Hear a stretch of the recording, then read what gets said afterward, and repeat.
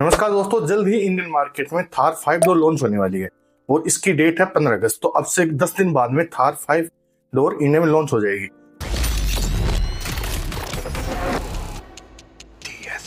तो हम इस वीडियो में जानने की कोशिश करेंगे जो करंट थार थ्री डोर है, उसमें और जो थार फाइव डोर है, उसमें क्या क्या चेंजेस मिलने वाले हैं? मतलब थार थ्री डोर को कितना अपग्रेड किया गया थार फाइव डोर के अंदर? तो दोस्तों, मेरा नाम पंकज और यदि आप चैनल पहली बार आए हो तो चैनल को सब्सक्राइब ज़रूर करें और आज की वीडियो शुरू करते हैं। तो इस वीडियो में मेनली पाँच पॉइंट की बात करेंगे। मैंने पाँच पॉइंट पिक गए हैं जो कि डिफरेंट आपको मिलने वाले हैं। बट उससे पहले मैं इस गाड़ी का नाम बता देता हूँ। हम इसको थार फाइव डोर ना बोल के थार रोक्स बोलने वाले क्योंकि कंपनी ने इसको नाम दिया थार रोक्स अब ये नाम मेरे को इतना अच्छा लगा नहीं बट यदि इसकी जगह अरमाडा नाम होता, थार अरमाडा जो पहले बहुत सारे सर्कुलेशन आ रहे थे कि इसका नाम, थार अरमाडा होने वाला है बट ऐसा कुछ हुआ नहीं। यदि वो नाम होता तो ज़्यादा बेटर होता। अब इसके जो पाँच पॉइंट है, उसमें से यदि मैं फ़र्स्ट पॉइंट की बात करूँ तो वह है इसकी लेंथ जैसे कि हमको थार थ्री डोर थी, उसके अंदर जो लेंथ थी, वो सब फोर मीटर थी मतलब फोर मीटर से थोड़ी सी कम थी. बट इसके अंदर आपको साढ़े चार मीटर के आसपास लेंथ मिलने वाली है, जिसकी वजह से इसका व्हील बेस भी बढ़ेगा और इसके अंदर जो स्पेस है, वो भी बढ़ने वाला है.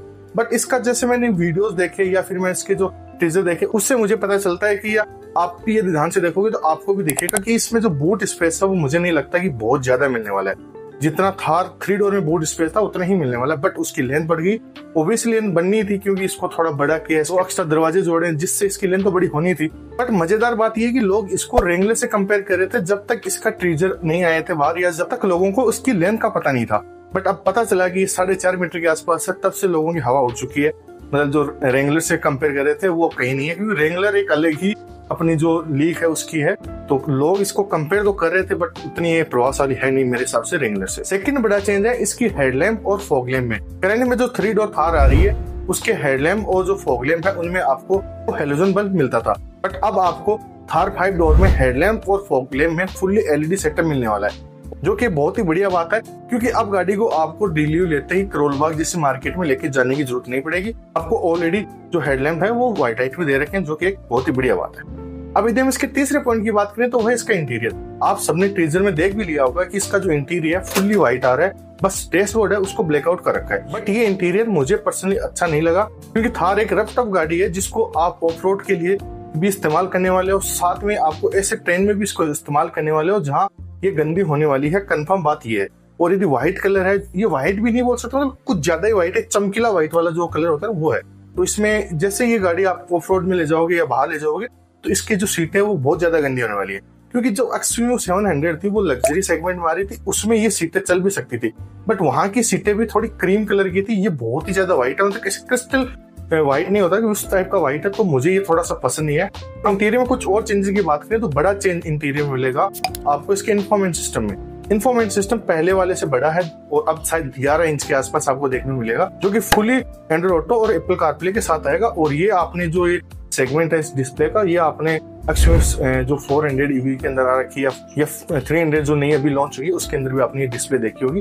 उस प्रकार की डिस्प्ले आने वाली है। और बड़ा चेंज है इसके इंस्ट्रूमेंट क्लस्टर में। इंस्ट्रूमेंट क्लस्टर जो इसकी टॉप एंड मॉडल आएगा, उसके अंदर आपको फुली डिजिटल देखने को मिलेगा। बट जो नीचे वाले मॉडल है, उसमें जो अभी थार चल रही है करंट में, उसका सेम टू सेम आपको रिप्लेस हुआ देखेगा। इसी के साथ इसके अंदर आपको dual climate zone wireless charge ventilated seat और चेंज स्टेरिंग व्हील इंटीरियर में देखने मिल जाएगा। अब यदि हम इसके फोर्थ चेंज की बात करें तो वो है इसके अंदर आने वाली दो दो सनरूफ जी हाँ आपने सही सुना, थार फाइव डोर के अंदर दो दो सनरूफ आने वाली है। पहली जो छोटी सी होती है नॉर्मल वाली, और उसके अलावा एक पेनोरामिक सनरूफ यदि हम छोटी सनरूफ की बात करें तो वो इसके जो नीचे वाले मॉडल्स हैं, जो बेस बेस से जस्ट ऊपर वाला मॉडल है, उन मॉडलों में शायद ये आ सकती है।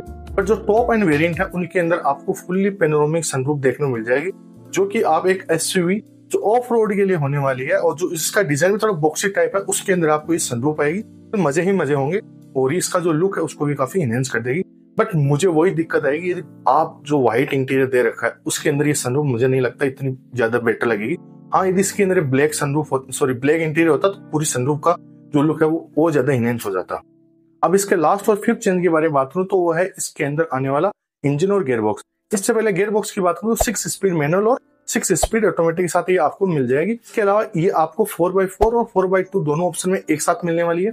मतलब कि जब ये लॉन्च होगी, तब फोर बाई टू भी इसमें आएगा और फोर बाई फोर भी आएगा। ये जो पिछली थार थ्री डोर थी, उसका जो फोर बाई फोर था, वो तो बहुत पहले लॉन्च हुआ था और फोर बाई टू उसके साल से डेढ़ साल बाद में लॉन्च किया था। तो इस बार ये दोनों साथ में दे रहे हैं, जो बहुत ही बढ़िया बात है। इसके अलावा इंजन ऑप्शन की और बात करूँ तो इसके अंदर आपको जो फोर बाई फोर है, उसके अंदर आपको टू लीटर का पेट्रोल टर्बो इंजन और उसके साथ टू पॉइंट टू लीटर का डीजल इंजन देखने को मिल जाएगा। और जिसकी पावर और टोर की मैं बात करूँ तो वो भी मुझे पता नहीं है। जल्द ही ये रिलीज़ होंगे तो मैं आपको बता दूँगा। एक और बढ़िया ऑप्शन है कि जो फोर बाई टू है, उसके अंदर आपको 1.5 लीटर का डीजल इंजन भी मिल जाएगा, जो कि बहुत ही बढ़िया और ये एक अच्छी बात है जो महिंद्रा ने की है क्योंकि आपके पास एक एक्स्ट्रा ऑप्शन रहेगा, आपका जो बजट है, वो भी थोड़ा नीचे रह सकता है, यदि आप बेस मॉडल या 1.5 लीटर वाला डीजल इंजन लेते हो तो। तो दोस्तों, ये थे पाँच ऐसे पॉइंट जो थार थ्री डोर से थार फाइव डोर के अंदर चेंजेस मिलने वाले हैं। यदि आपको वीडियो पसंद आए तो लाइक शेयर सब्सक्राइब ज़रूर करें। मिलते हैं आपको एक और वीडियो के साथ। तब तक आप अपना ध्यान रखें। धन्यवाद।